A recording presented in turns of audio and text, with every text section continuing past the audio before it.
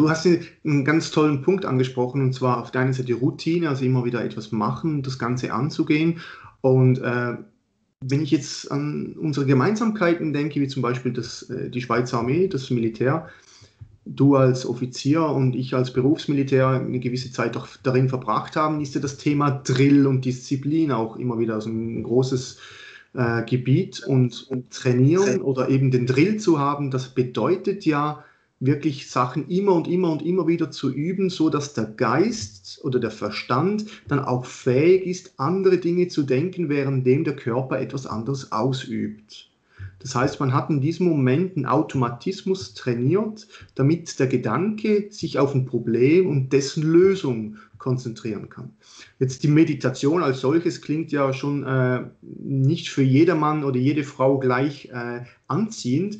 Wie könntest du dir jetzt vorstellen, kann man Sicherheitsverantwortlichen, Sicherheitspersonen oder Leuten aus dem Sicherheitsgewerbe das Thema Fokus, Mindset so rüberbringen, dass es für die auch annehmbar ist. Hast du da schon Erfahrungen gemacht, speziell jetzt äh, zum Beispiel mit Leuten, die aus dem Militär sind oder aus der Sicherheitsbranche? Ähm, ich, ich war schon bei, bei der Sicherheitsbranche, da, da waren wir dann halt bei Leuten, die halt direkt im Einsatz sind, okay. dass die viel mehr Kontrolle haben, ähm, dass die eine, eine viel bessere Präsenz haben, wenn sie halt am Arbeiten sind. Und das ist ein enormer Vorteil. Okay. Ähm, weil ich dann eins zu eins halt vermitteln kann. Es geht wirklich, es geht um, um die Wirkung, weil ein Tool soll ja eine Wirkung haben. Es geht bei der Meditation nicht um die Meditation selbst, sondern was daraus entsteht. Und ich habe mich darauf spezialisiert zu schauen, was bringt mir sehr schnell mehr Energie, mehr Klarheit, mehr Lebendigkeit. Und dann ist das ein hochdynamischer Prozess, den man da macht. Der macht Freude. Und, und Drill klingt ja immer so nach, oh, das ist mega anstrengend. Aber jeder, der ein Instrument spielt, der übt ja auch jeden Tag, weil er ein Interesse dran hat, weil er Freude dran hat. Also auch das geht ja über die Wiederholung. Und wenn jemand äh, für die Sicherheit verantwortlich ist, Sicherheit ist ein so undankbares Thema, weil es ist ja noch nichts passiert.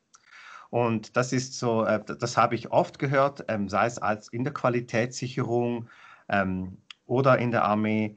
Ähm, ja, wenn noch nichts passiert ist, besteht kein Handlungsbedarf. Und da hilft natürlich die Meditation, um innere Klarheit zu erreichen, um zu verstehen, wie muss ich es denn dem anderen kommunizieren, dass er es versteht. Und da gibt es also schöne Sätze wie, ich, ich muss mal drüber meditieren und das auch schon.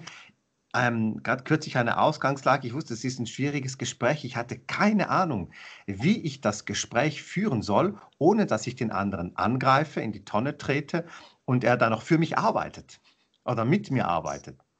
Ähm, ergo musste ich da erstmal die Emotionen gehen lassen, die Gelassenheit steigern, habe ich meine Klarheit aufgebaut und dann war über die Intuition der Einfall da, wie ich vorgehen kann und das hat sich als perfektes Vorgehen herausgestellt.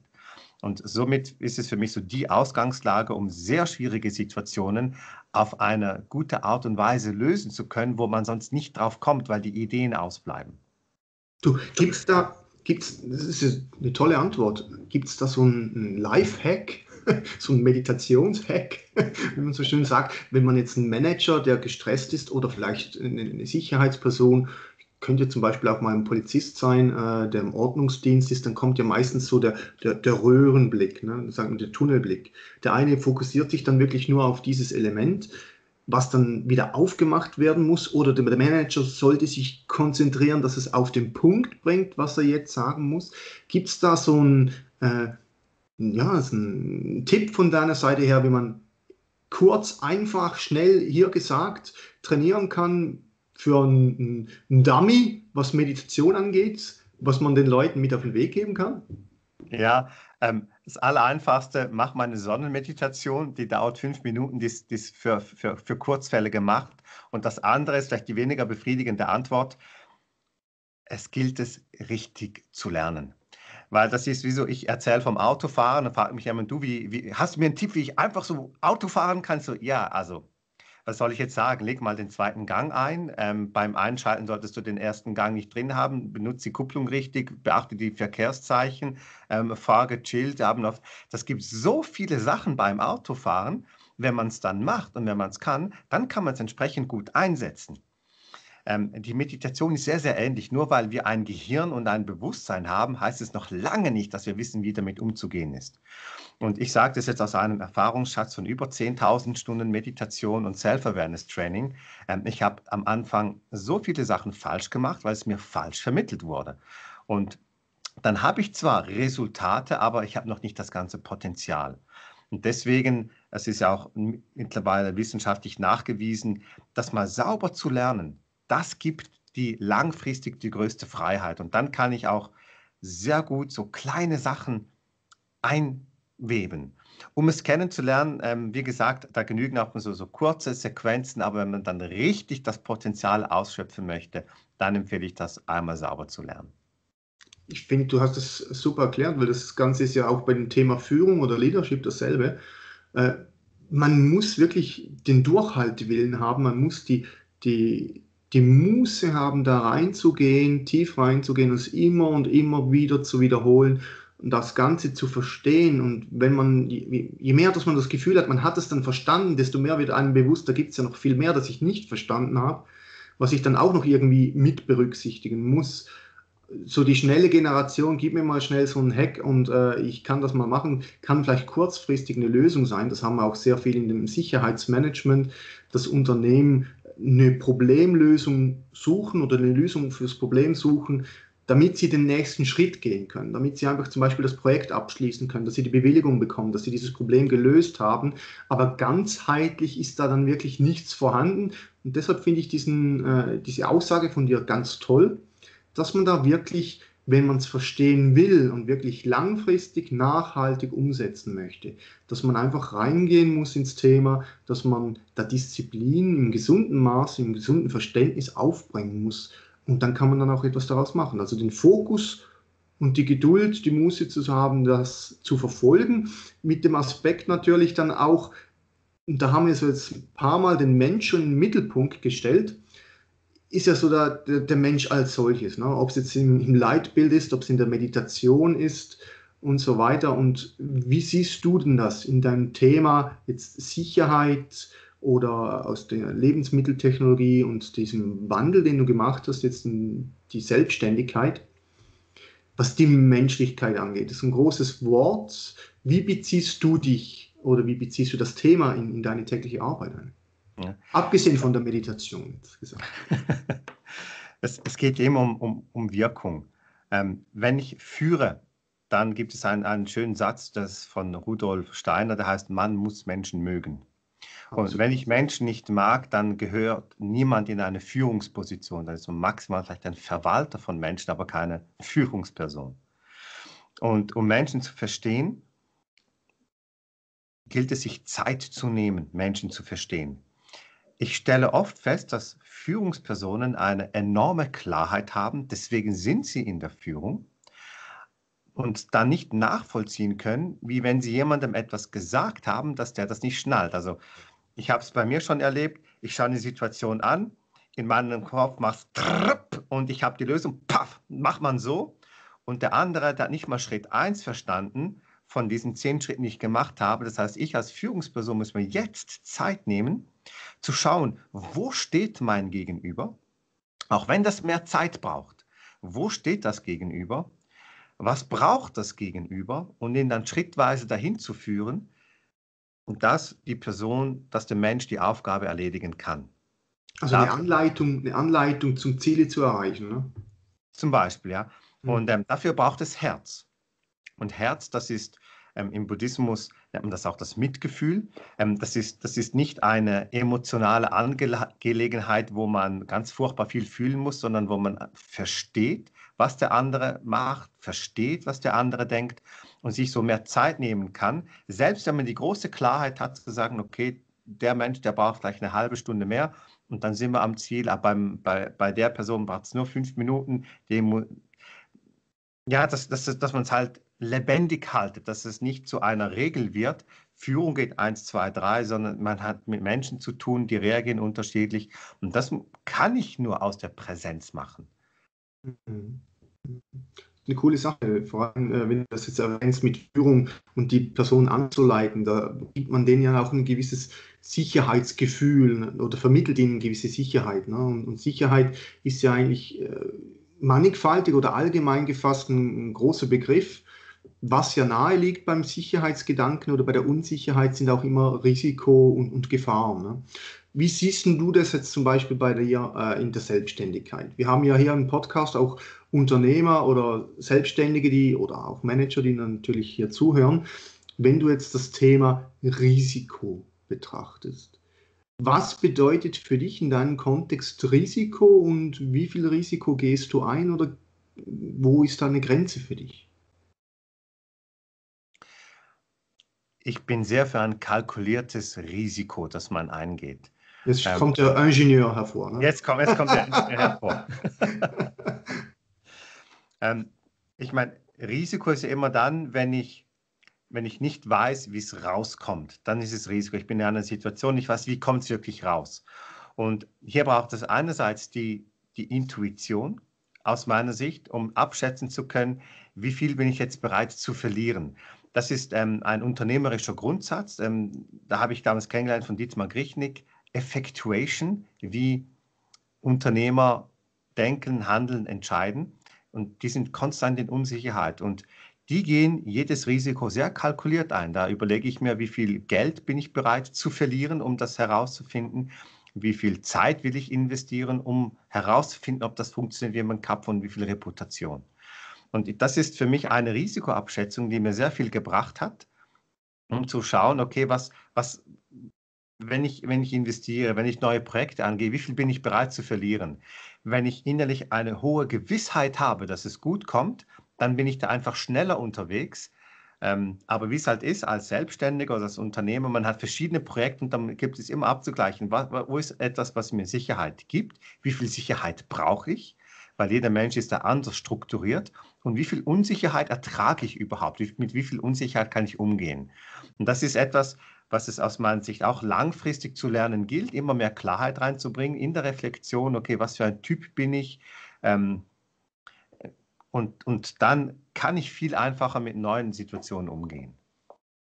Du hast jetzt schon ein paar Mal äh, auch erwähnt, äh, die Geschichte Mindset, Meditation und so weiter und, und, das in sich hineinfühlen. Jetzt hast du den Ingenieur, den, den, den Wissenschaftler äh, wieder zum Vorschein lassen, äh, kommen lassen. Und wenn wir jetzt sagen, entscheidet dann schlussendlich bei deinen Abwägungen zwischen Risiko und, und, und Chance dann trotzdem das Bauchgefühl, wenn ich das so sagen darf? Trotzdem der, der meditative Aspekt oder ist es der analytische, der hier mehr zum Vorschein kommt, zum Zuge kommt? Ich habe früher oft den Fehler gemacht, nicht meiner Intuition zu vertrauen. Und im Verlauf der Zeit habe ich gelernt, das immer besser zu machen. Weil jeder Mensch hat, hat innere Mechanismen, wie er am liebsten vertrauen kann. Das Ganze basiert dann noch auf den Überzeugungen, die ich habe. Und deswegen ist es so wichtig zu wissen, was für Grundüberzeugungen habe ich. Weil wenn ich eine Grundüberzeugung habe, egal was ich entscheide, es kommt immer schief raus, dann wird das tendenziell sein, egal worauf ich höre. Ähm, wenn ich aber eine, die innere Grundhaltung habe von, ja, egal wie ich mich entscheide, irgendwie kommt es immer gut, ähm, oder wenn ich mich mal entscheide, dann kommt es gut, dann ist das eine komplett andere Vorgehensweise. Also Intuition ist kein diffuses Bauchgefühl, das ist eines der größten Missverständnisse überhaupt. Intuition ist formloses Wissen. Und formloses Wissen ist, ich weiß es ohne einen klaren, eine klare mentale, also ähm, gedankliche Herleitung zu haben und sogar ohne ein Gefühl dafür zu haben. Das, das Bauchgefühl, das Bauchgefühl, das ist sekundär. Das ist immer sekundär. Zuerst okay. ist das formlose Wissen da und es gibt Menschen, die haben das geschafft, irgendwie in ein Gefühl umzusetzen. Und weil, wenn du jemanden fragst, wie machst du das? Das konnte mir noch niemand erklären, der eine gute Intuition hat. Der sagt, ja, ich höre halt auf diese. Äh, wie? Und wenn ich jemanden frage, der sagt, bei mir funktioniert das, immer ich das Gefühl in meinem Bauch höre, dann entscheide ich mich falsch, dann ist eine Emotion. Und eine Emotion ist nicht Intuition. Emotion kommt aus dem Unterbewusstsein, Intuition kommt aus der Präsenz. wenn du sehr ruhig bist innerlich, dann kannst du intuitiv wahrnehmen, was richtig ist. Und je länger du dieses Wissen in dir hast, dieses intuitive Wissen, desto mehr gibt es eine Transformation in Gedanken hinein, in Emotionen hinein. Das heißt, du hast, du weißt es vielleicht schon intuitiv, aber deine Gedanken sind so am Rotieren, dass du nicht darauf hören kannst oder willst. Und erst ein paar Tage später hast du für dich das Gefühl, du sagst, ach, ich habe so ein Gefühl, das. Bist du aber super klar, dann hast du das wesentlich früher. Und da ist wieder dann so der Tempovorteil von Bewusstseinstechniken. Wenn ich halt da direkt darauf zugreifen kann, brauche ich viel weniger Zeit für eine gute Entscheidung, weil ich viel schneller merke, ja, das funktioniert gar nicht oder da bin ich auf dem richtigen Weg. Das ist ja interessant zu, zu hören, weil gerade der Aspekt der Geschwindigkeit ja manchmal zum Beispiel bezüglich Sicherheit in Unternehmen ja äh, die Sicherheit nicht immer die schnellste ist. Das heißt, man braucht einen gewissen Prozess, braucht eine gewisse Thematik, volles Verständnis dafür, das Bewusstsein dafür, die Kultur, die Struktur muss stimmen, das Budget muss stimmen, damit dann auch das Geld gesprochen wird.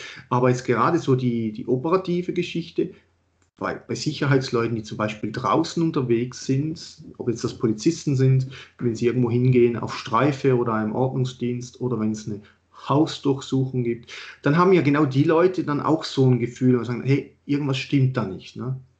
Ja. Das kann einerseits natürlich aus der Erfahrung kommen, die man dann irgendwo mitbekommen hat, aber es kann auch so sein, dass irgendwie eine andere Ebene mit im Spiel ist und immer wenn man dann mit diesen Leuten redet, ist der Punkt wirklich der, dass ich drauf gehört habe, hat mir dann dazu gebracht, dass ich dann wirklich der Gefahr ausweichen konnte. Also irgendwas war da, das mir gesagt hat, pass auf oder mach das nicht.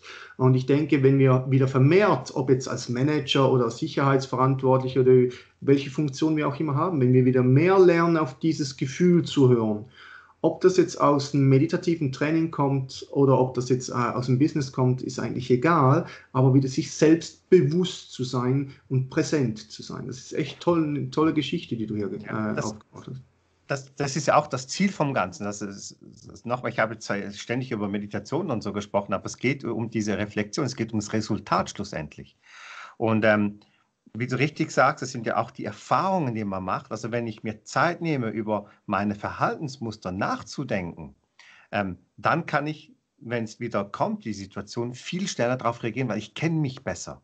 Weil wir haben so, sogenannten somatischen Marker und die sagen relativ schnell, geben die ein Feedback, ah, hier stimmt etwas nicht so ganz, du musst heute etwas anders tun. Das geht nur, wenn ich im Hier und Jetzt bin. Und das ist das Ziel vom Ganzen. Super.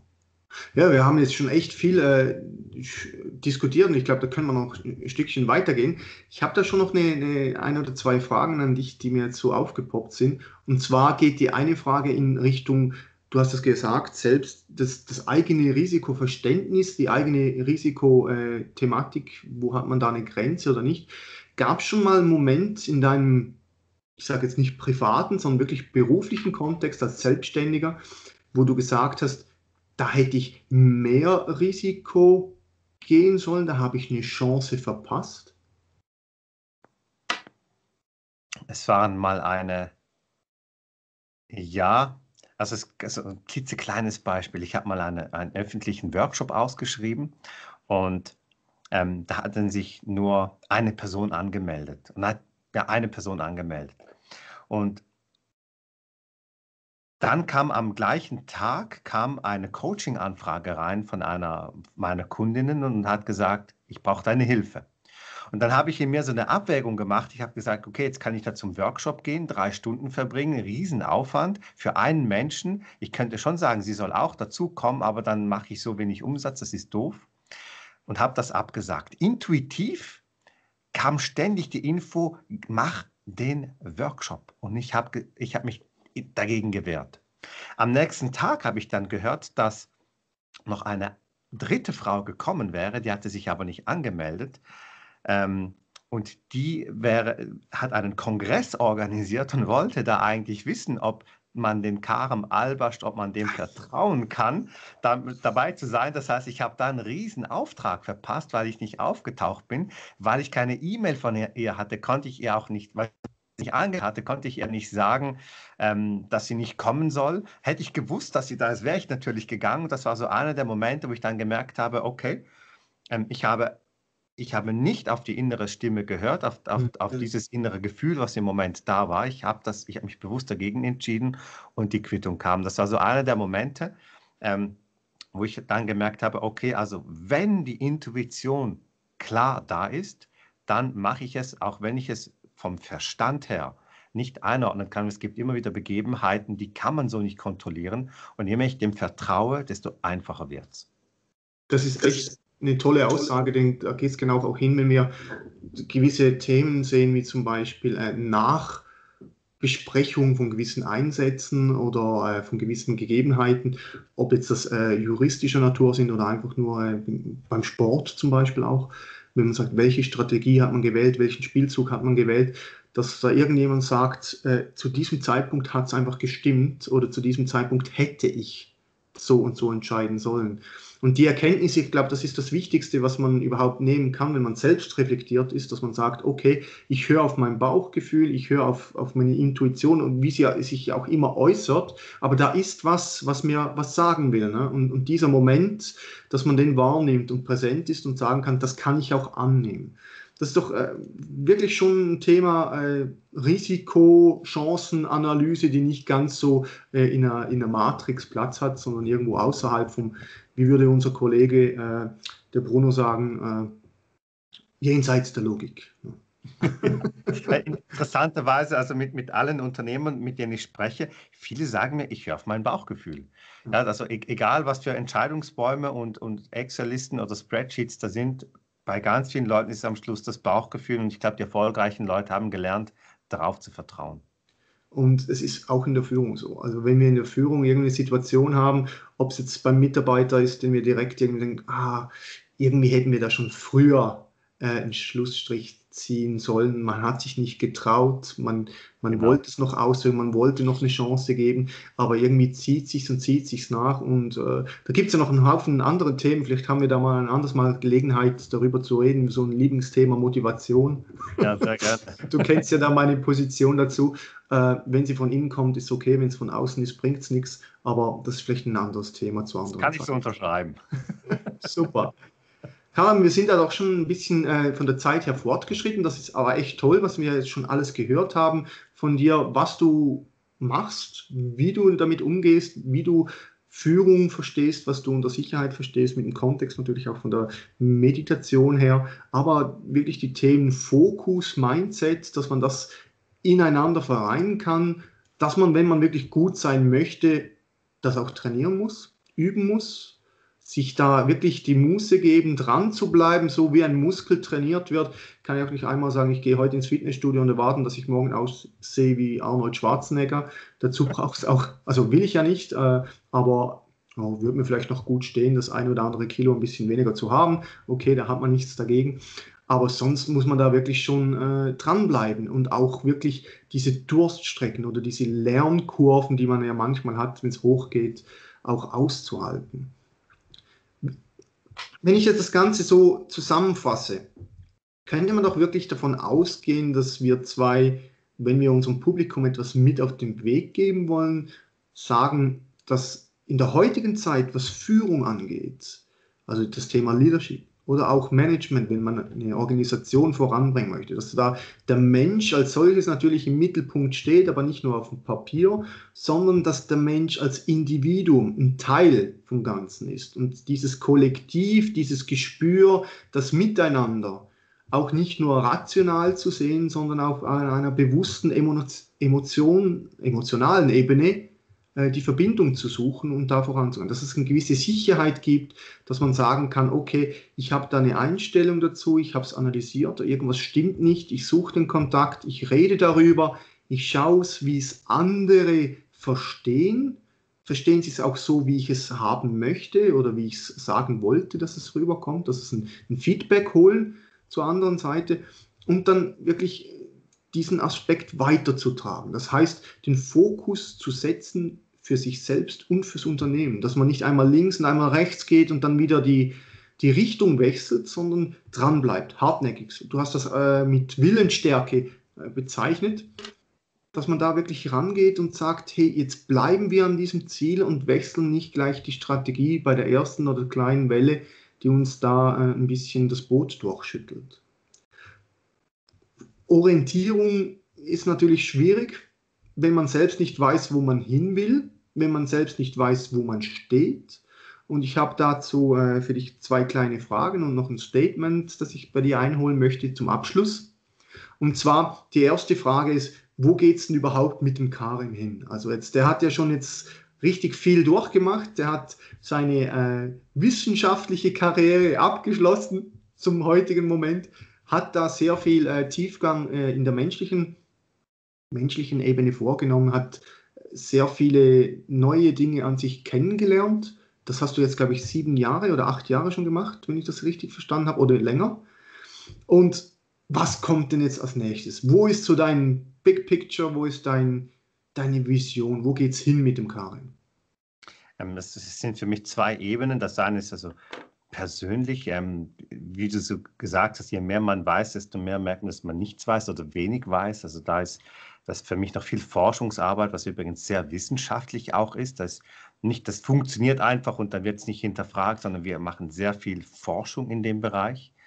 Ähm, das andere ist, ich möchte mehr Menschen diesen Zugang geben zu richtig guten Tools, damit sie mehr Klarheit haben, mehr Fokus haben, mehr Herz haben und so ihre Vorhaben besser umsetzen können. Ähm, weil ich einfach sehe, dass, dass es viele zwar gute Tools gibt auf dem Markt, aber noch nicht so das High-Performance-Set da ist, wie, wie ich das kenne.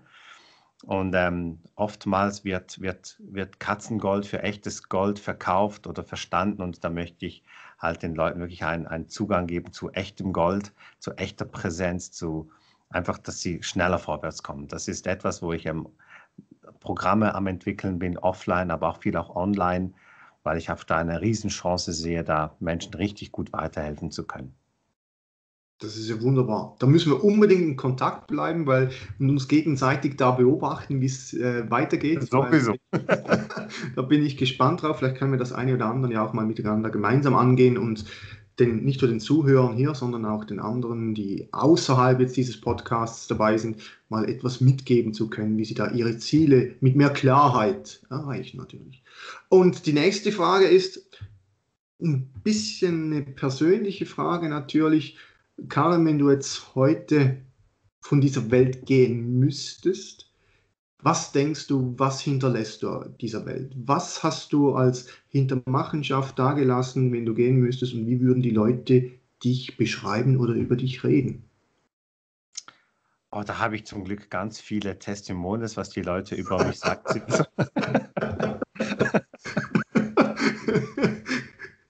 Kein also, Testimonial, Karl. Kein, kein Testimonial. Testimonial. Ich kann nicht ausweichen.